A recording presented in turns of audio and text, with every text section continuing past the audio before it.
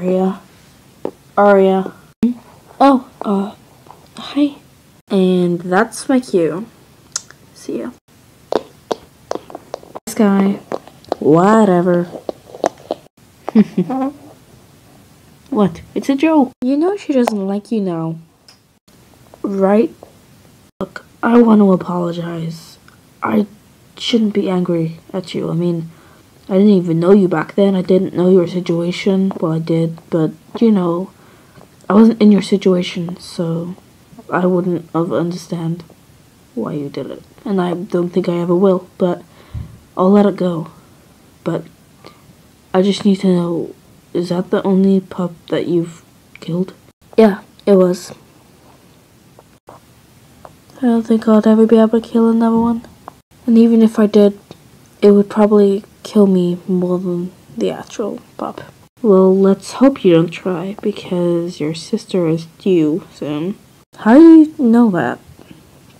Because she's extremely, um, what's the word? Fat? Well, it wasn't how I was gonna say it, but okay. I love you. I know. It's because I'm adorable. we should probably carry on walking anyway. Hey, are we gonna carry on walking now, Bruno? I think you can read my mind. I was actually just thinking that. Uh, let me just... Sky, should we start moving again? Anywhere you go, I'll go. you bet you will. Guys, please, you're gonna make me vomit in my mouth. Twice. Hey, Ezra. Hmm?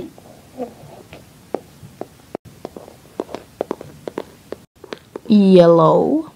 We're gonna start moving again. You cool with that? Yep, definitely. My legs feel like jelly for some reason. Ooh, I hope they don't fall off. I hope that too. Come on, let's carry on walking. you gotta stop it, dude. Seriously, she hates you. Made the first comment. Looks like I found you. Only so far one pregnant one can walk.